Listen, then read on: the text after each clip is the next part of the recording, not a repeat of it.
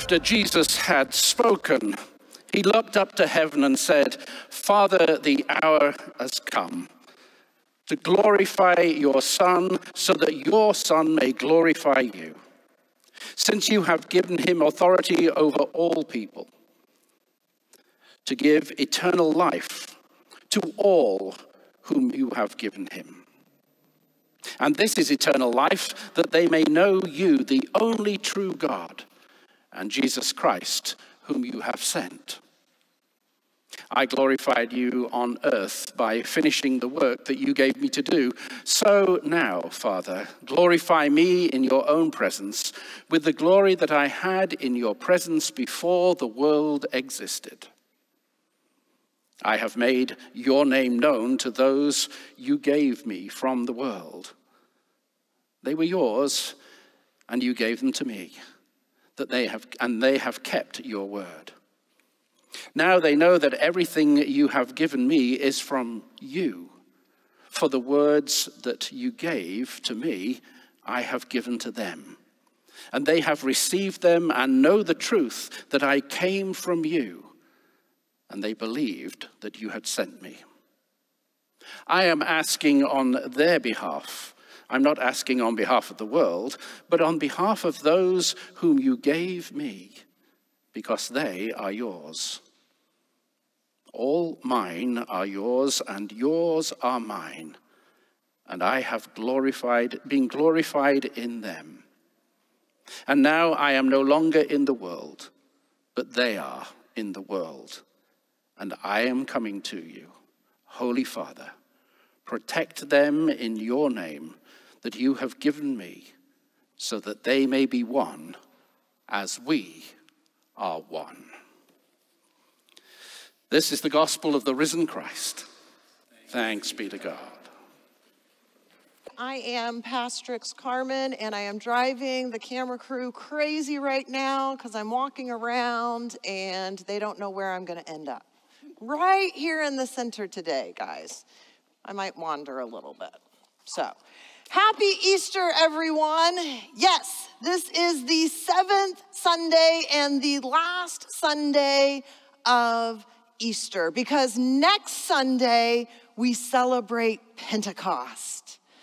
The well, one of my favorite Sundays in the church. We celebrate the birthday of the church when the Holy Spirit came down like tongues of fire on the heads of the people present. It's the day that we received the great counselor, the paraclete, as we heard last week, the advocate, the spirit of truth. I love the Holy Spirit. I think I've done a sermon here before when I said that the Holy Spirit was the Thelma to my Louise. The Holy Spirit is my ride or die. My, the Holy Spirit is my ever present companion that's with me in times of joy, in times of sorrow, in times of distress. But yes, the Holy Spirit is my ride or die. You know, when Jesus departed the earth, he said that this was for our good. He was speaking to the disciples and he said, This is for your good that I leave. Now, how on earth can Jesus leaving be good? Because Jesus is going to send the Holy Spirit. The Holy Spirit that lives inside of all of us who believe in Jesus. Which means there's a whole lot of Jesus walking around here. There's a whole lot of Jesus sitting in these pews. There's a whole lot of Jesus watching us from home. That's a lot of Jesus, isn't it? Would you pray with me? Awesome God, we come before you today, humble servants with ears open, minds open, ready to receive the lessons and the teachings that you have for us today. Help us to hear and to see how life imitates Scripture and what is going on in this place. be with us here, and may the words of my mouth and the meditation of all of our hearts be pleasing in your sight, O Lord, our strength and our Redeemer. So today's gospel lesson from John is the beginning of a longer prayer from Jesus. And in this prayer, he starts by praying for himself. He knows that the end of his ministry is coming soon. And so he prays for himself and then he prays for his followers. His followers. His followers, if you notice in the scripture reading, included not just the disciples, but the women and the other people who traveled with Jesus. And I would assert to you today that that prayer also extends to us today. He wasn't just praying for those people present with him, he was praying for all of the followers that were still yet to come. He prayed for their protection. He prayed for unity. He prayed for joy.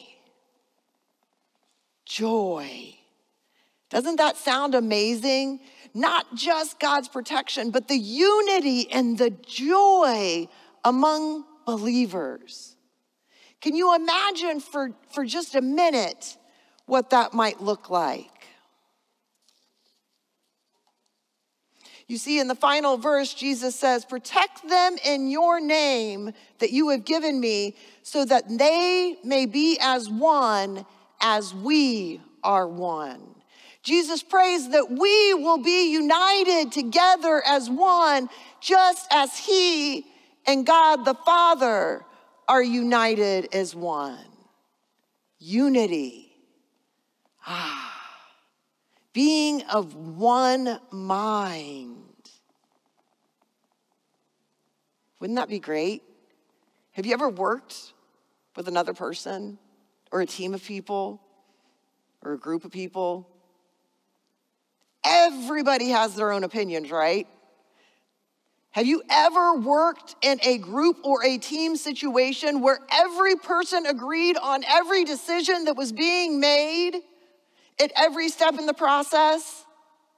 If you have, I want you to raise your hand, really seriously. Raise your hand or comment on Facebook. Oh, we've got someone.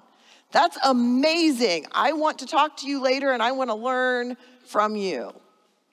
Because that is a very, very difficult thing to do, especially when we come to talking about God and the church and the vision that God has for the church. I mean, let's face it, Roberts Park, we've been around for 201 years now. So it might be safe to say we may be a little set in some of our ways after 201 years. But I don't think it always has to be that way. You see, we have the ability to do something all of us, each and every one of us, to help move forward. And one of those things is putting aside our personal preferences for the good of the community and the kingdom and for the church. Now, I know that sounds a little shocking, and it maybe sounds simple but it is so hard to do, not just at church, but anywhere. So, what do our personal preferences look like or sound like in church? It might be the type of music we sing, it might be our type of worship expression. It could be the type of flowers or ornaments or the way we, we adorn the altar. It could be the liturgy, the Bible studies we offer, offer, the missions we sponsor, preaching styles, just to name a few. For example, off the top of my head right now, my, my personal preference might be that the choir stop wearing robes. My personal preference might be that the choir just wear, you know, black black pants and white shirt or a black dress or something like that and just dress in black and white. That would be my personal preference. I've given this no thought before right now, so don't take me seriously. Um, but that might be an example of one of my personal preferences, but yet everybody else in the choir and in the church might be saying, well, no. The pastors are wearing robes, the choir's sitting up there, it looks so neat and uniform. No, we want to keep that. Pers- is that a personal preference? Or does it even really make a difference when it comes to sharing the love and the joy and the grace and the peace of God? I don't know. Now, there are definitely some things that are personal preferences that do have to do with God's will for this church. And so that's why it's so important to listen to the Holy Spirit. Because sometimes, I'll speak only for myself, sometimes I have a tendency, I'm gonna look right into the camera here. Sometimes I have a tendency to think that my personal preference is everybody else's personal preference, that everybody else likes the same thing I do. And um, sometimes I might even think that my personal preference, or I might perceive it as being the correct choice for the church. Sometimes I might be right, sometimes I might be wrong. Thankfully, there's a group of leadership and people here who are praying and asking for wisdom and discernment over these situations. And I don't make these decisions by myself. We make these as a community. Now, last week, Pastor Derek Weber talked about the Holy Spirit, the paraclete, and how it meant advocate. And then Jesus today goes on to call it the Spirit of truth. And that's where it gets tricky, right? Because, again, I don't know about you, I'll just speak for myself. But sometimes I have to ask myself, is that my voice in my head? Or is that the Holy Spirit? Who's talking to me right now? Is this what I want or is this what God wants? Has anybody else been in that position? Has anybody else thought that before? Yeah. I think that's I think that's a pretty a pretty common um, place to be for us. And it's good for us to wrestle with that. It's good for us to wrestle with it because, one, it gives us more opportunity to spend time in conversation with God, right? Second of all, it gives us practice at learning how to discern what God's voice sounds like, what the Holy Spirit's voice sounds like, compared to the world's voice, compared to our own voice. And I would submit to you that in Acts chapter 1, verse 8, that we heard today, it says, You will receive power when the Holy Spirit comes upon you. And that part of the power we receive will be the ability to use discernment and wisdom to recognize God's voice, to figure out if it is God's leading that we're following, or if we're just trying to advance our own personal agenda. Sometimes we need to learn to be, and this is especially true for me, we learn to, need to learn to be quiet and to listen, and to listen to all the other voices that are with us but most importantly, the Holy Spirit. Now, why am I getting stuck on this personal preferences thing, you might be wondering? And that's because of something Pastor Andrew said earlier, and because of something that um, Pastor Derek talked about last week. he asked us this question What are you hungry for? What are you hungry for? What need do you have? What what hole do you have inside you that needs filled? What are you hungry for? That is an excellent question. Because when we start to figure out what we're hungry for, we might find out that other people are hungry for the same thing. but it's still asking us to focus on ourselves. And so that's why I want to take this moment this morning to say, as we're asking ourselves, what are we hungry for? That we take into consideration what other people are hungry for as well. I participated in a Bible study for years, and very often, well, I'll say almost 99% of the time, we would choose a study, and a lot of people would be happy with it. But there was always one person who was like, This study is not for me. Or they walk out of the church service and be like, I didn't get anything out of that sermon. And you know what? Sometimes that Bible study, sometimes that sermon, sometimes it wasn't for you. Sometimes it was for someone else that was here, that needed to hear those words, that needed to hear that encouragement. And so I think we need to keep that in mind when we ask ourselves what we're hungry for. What are other people hungry for? And how are other people being fed? Because the way they're being fed might be different than the way we're being fed. And so we have to look at all of these pieces and all of this diversity. Because we have some tough work ahead of us, difficult choices that we need to make as we continue to flesh out this ministry of faith and food and designing programming and ministries that aren't going to just fill the stomach, but nourish people, body, mind, and soul. So let's continue to look at that reading from Acts because in verse 9, it records Jesus' ascension, and it says the disciples just stood there looking up.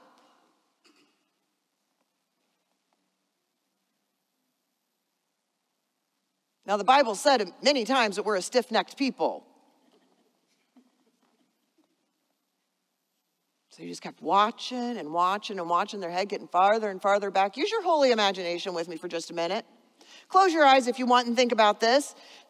Disciples standing around, Jesus is rising up into the heavens, and they're looking and they're looking, and they're like, when's he coming back? Is he just going to hang out up there? Can you still see him? And then suddenly, two men in white appear. And um, I can see them just going over and tapping one of them on the shoulder, be going, hey. And everybody starts like, oh my gosh, where'd you come from? And they're like, what are you doing? Like, well, well, Jesus was just here, and then and then Jesus went up there, and and and we're just trying to see where he is. And these men in white are like, yeah, yeah, we know. We, we saw what happened. Now, stop it. Let's break this up because you've got work to do. Jesus just gave you an assignment. You're here looking for someone who isn't here anymore. And so it is then at this point that the disciples make the Sabbath day's journey back to the now infamous upper room, which has been the scene of so many exciting developments in Scripture.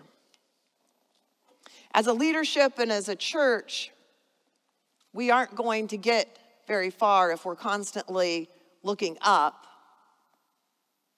or more appropriately for our times today, looking in the rearview mirror and looking behind us. It's always good to take a quick check back there to see where we've been, how far we've gone, those things. But if you're driving down the road, how much time do you spend looking in the rearview mirror compared to how much time do you spend looking out the windshield in front of you? See, the windshield in front of us, that's where God is. That's where God is asking us to follow. Follow. Come closer, come closer looking forward into the future to what's coming to, ahead. You know, when I was in driver's ed, they taught us defensive driving, and they said, when you're driving, look everywhere. You know, look at the parking lots as you're passing them, look for the people, look for the cars, look for everything and everyone. And we can only get that big perspective by looking outside of ourselves and out front and in the future and where we're going. And just using that rear view mirror is just a little, little check, a little checkpoint, just to make sure we're, we're in making good progress. And you know, I know that it's tempting to look in the rearview mirror, and that's where the good old days were, right? Before COVID, before other things. But that's in the past. That's the rearview mirror.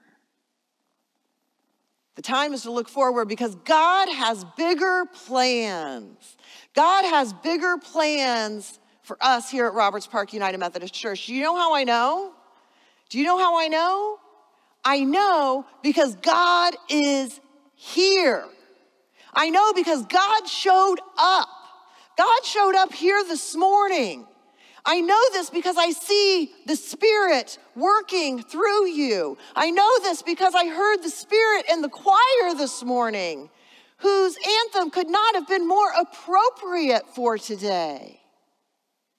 I see the Spirit at work in the people who are volunteering. I see it in worship and wonder. I see it at Soups On.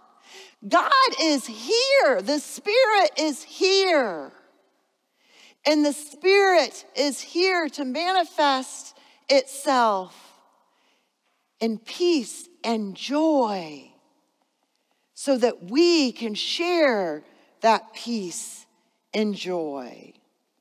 So, yes, the Spirit is at work right now. The Spirit is alive and well at Roberts Park. And with the power of God, the Spirit is primed and ready to manifest God's kingdom of love here and now. Now, once the disciples and the other followers, don't forget the women, going to bring them up again, um, returned to the upper room, it says they devoted themselves to prayer. I wonder what they were praying about. What do you think they were praying about? Please send Jesus back. The two guys in white said he'd come back the same way he came. Do you think that maybe they were praying about, well, maybe we should go back there like every day until he comes back? Or maybe they were praying about their own fears or anxiety. But I would like to think that they were praying about what are our next steps forward? What do we do now. Because Jesus gave us this command that we're to take the gospel everywhere. Well, that means people that don't speak our language. That means people who don't look like us. That means people that don't worship like us and believe in different gods. That means the Gentiles. How on earth are we going to do that? I'd like to think that's what they were praying about. And even in the early church, they had, to, they had fights over personal preferences. One of the most famous being between Peter and Paul over circumcision. You know? That's a, that's a, that's a pretty, that's a, that's a, that's a big personal preference and very personal for half of our population. But it was a question of what was God calling them to do? What was God asking them to do? And what was their idea? What did, was, was it their voice or the Holy Spirit's voice?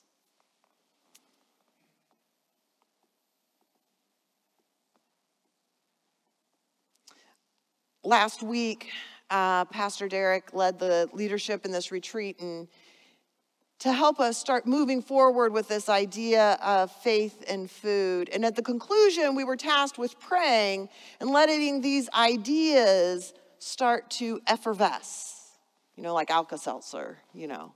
Let, let, it, let, let our ideas, our hopes, our dreams bubble to the surface. And tomorrow night's our board meeting when it'll be the first time where we all get together and we get to hear from everyone what bubbled up out of them and out of that retreat. And it is so exciting because how is God going to show up? Where is God going to show up and where is God going to call us to go? So I don't say this very often, but I am super excited for tomorrow night's board meeting. So, just to finish up here, this is one of the rare occasions when I, you may have noticed or not, where I actually preached a three point sermon. I didn't tell you that at the beginning because people get distracted with, like, okay, when's she moving on to two and when's she going on to three? So, I just want to review the three points real quick just to make sure you caught them all. First, let's try to be in unity with one another by putting aside our personal preferences and making our decisions based on the leading of the Holy Spirit and the greater good of the church and the community. That we will listen to the Holy Spirit because that's Jesus talking. You know, when we started Kaleidoscope, we didn't read a single book on how to start a queer ministry. Didn't read a single book, didn't watch any videos, but our tagline is by the community, for the community. And just by listening to the community and following the voice of the Holy Spirit, we created something that is bigger than any of us ever imagined. That's what listening to the Spirit can do and moving with the Spirit. Number two, stop looking up, or in our case, stop looking in the rearview mirror. Because if we keep looking back, we're never going to be able to move forward. So focus our, your eyes forward, focus your eyes on our future and the new opportunities that are in front of us, and dream big because God is big and nothing is out of the realm of possibility when God is at our side. And finally, three, devote yourself in prayer for the church, for the leadership for tomorrow night. Pray where you might engage in these new ministries moving forward with faith and food. Bring your ideas. Let Pastor Andrew know, let me know, let somebody on the board know. But bring yourselves into the congregation and let us know where the Holy Spirit is leading you. Amen.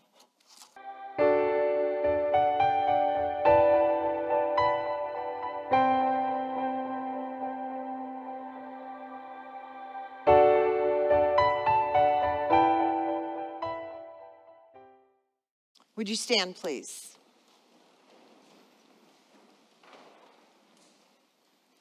Easter people, God has done great things for you. Go now, carrying the story of God's work in your lives, that in all things, good and difficult, you can ask with confidence, How will God show up now? Knowing all the while that God will indeed take care of all of us and point us towards joy.